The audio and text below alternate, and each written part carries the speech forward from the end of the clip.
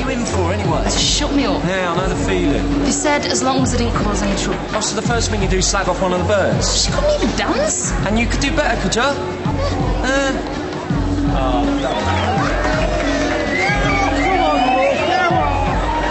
who's round, is it? Hey? Come on, love, leave it out. Oh,